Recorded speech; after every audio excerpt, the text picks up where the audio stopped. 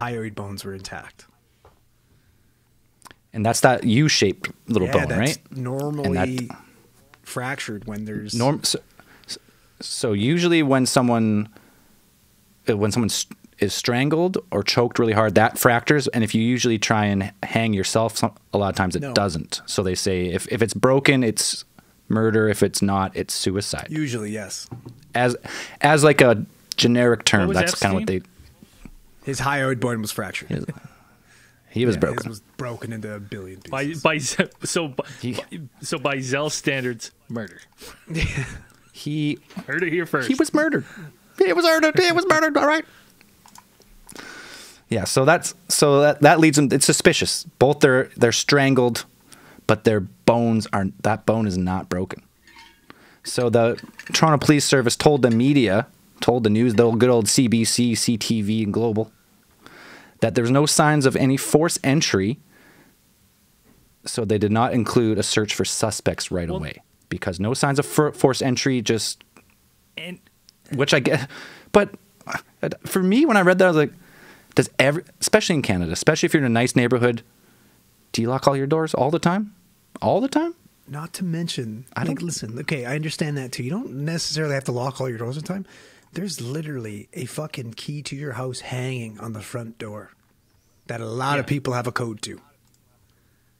Like one of those It's little lock lock box, boxes for. right? Like, and, yeah. and you know there was a lot of people coming and going because they were selling their house. They were doing. They were in the midst of some renos. Uh, right, we're gonna get into it further down the road, but there, you know, a room was just painted. A window may or may not have been left open for that room to dry. Uh, definitely left open. Yeah, hundred percent.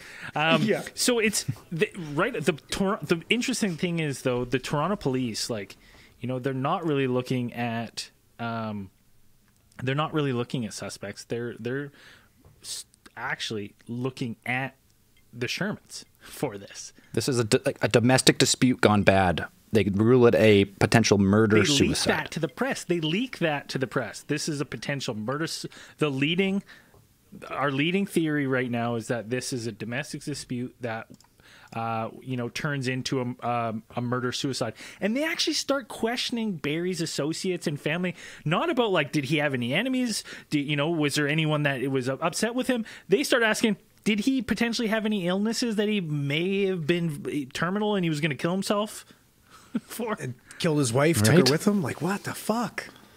Boy, Well, and another reason, another re- reason they thought that is because, well, she had that face trauma, so they kind of just deduced like, oh, he, he, so he didn't, so he struck his wife, maybe she fell or whatever. He, whatever it is, that's what they came up with that right away. Like, yeah, murder. Like that's their initial thought, and everyone knows, everyone's seen the show, listened to all the true crime podcasts. The first forty-eight. Yeah.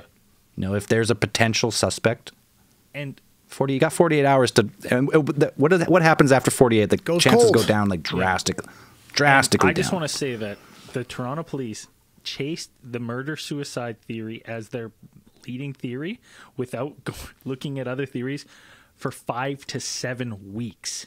Five Yeah. to seven weeks they looked at this. Didn't Well, even like- give a fathom to another anything else. They didn't fingerprint any of the fucking people who frequent the house or any of the close, like family, friends, relatives, anything like that. Um, they didn't do any interviews with friends, family, anything like that. They didn't check for fucking security cameras at his business where they were both seen together prior to the fucking to the death, and they didn't check the fucking. The neighbor said, "Hey, I have some sp- suspicious shit on a fucking camera." And we'll I'll get into that a little bit later about the the significant information from that. And said, "Hey, look, I have this, and it's going to be, be deleted in seven days. You guys need to look at it." And they didn't look at anything for over a month. and they didn't i mean this is a house undergoing renovations to be sold so painting and touch-ups and little finishes as far as i know no none of the workers were contacted right away Nothing. like it was just they, like they nothing they literally tunnel vision and were like, mm, "Hey, no force break-in, nothing was stolen.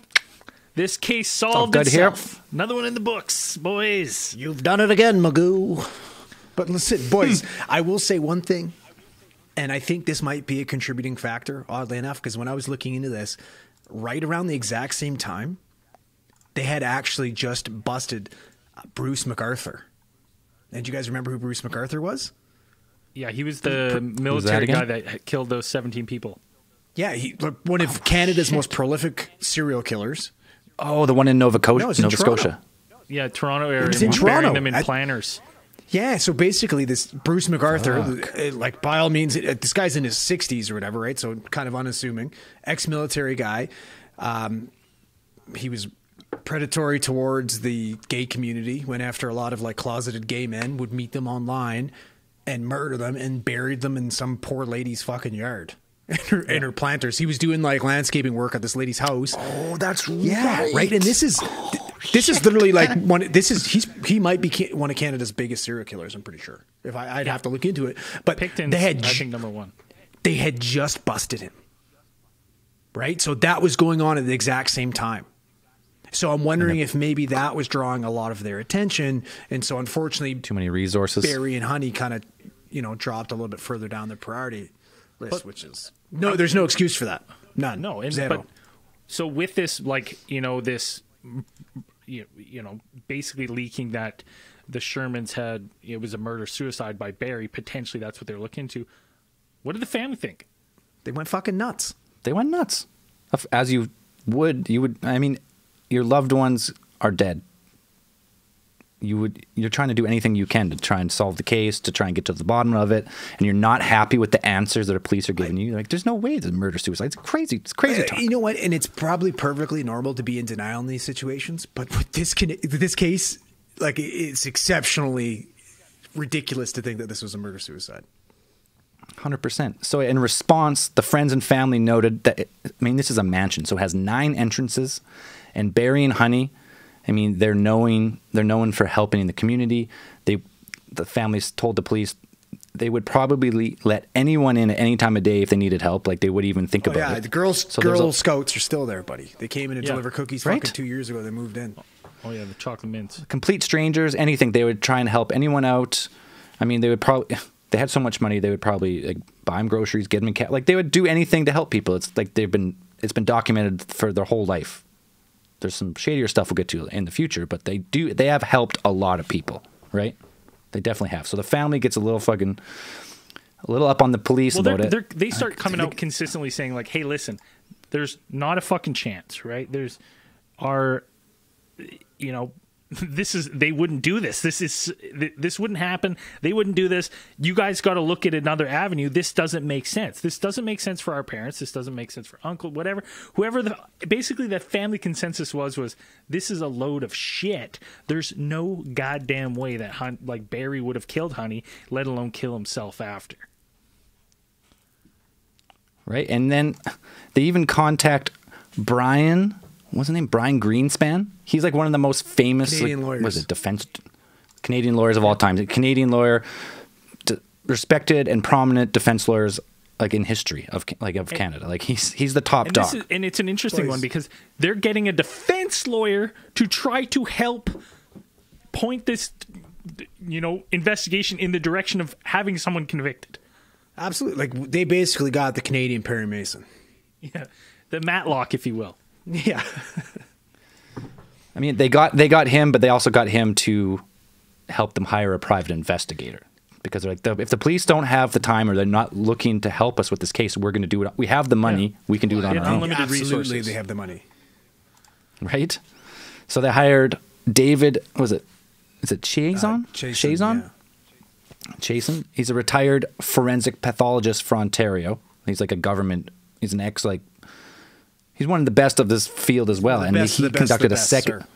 He's the best of the best of the best, hundred percent. He, he conduct, conducted a second autopsy, and established that the couple indeed had been murdered. Yeah, so like we start with the uh, hyoid bone, hyoid bones were still intact. He ended up finding out that there was skin missing from both Barry and Honey's wrists. Which like they've been They've bound. bound. They were bound, most likely those- with zip ties, and it was removed. Right? And one of the most substantial things that he found is that the two belts, the two men's leather belts that they were hung from, were not used to strangle them. It was a different It was device. Different. some, they were strangled kind. in some other way. The two belts were not used to strangle them. And you know what the fucking the the, you know width, the- the width of the industry or the width of the injury didn't match like the size of the belt or something. that's a good question. That's just all I know is that they I- I'm imagine I'm imagining that's he's like This is a t- fucking one inch strangulation, and that's a three inch belt. Hey guys, thanks for watching. I know it's annoying to watch these broken up in 10 minute segments, but here's the next one over here. Or if you want to watch the whole thing uncut and after hours, just click this link to our website and uh, give us a donation. You get ac- full access to it on Patreon. Anyways, thanks guys. Enjoy the next video.